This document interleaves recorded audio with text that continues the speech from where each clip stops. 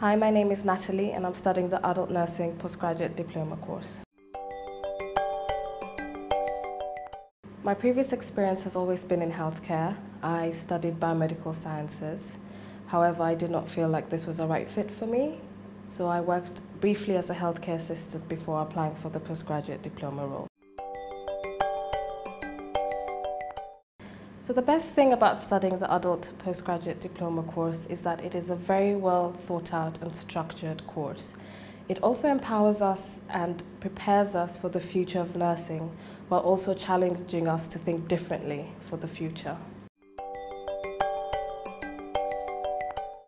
So the advice I would give postgraduate diploma applicants is to familiarize themselves with the course beforehand and read up on nursing journals and the latest nursing news, which can be beneficial at the start of your course. After I graduate, I would like to work as a staff nurse on the ward, working my way up and working as a palliative nurse, and then specializing in end-of-life care.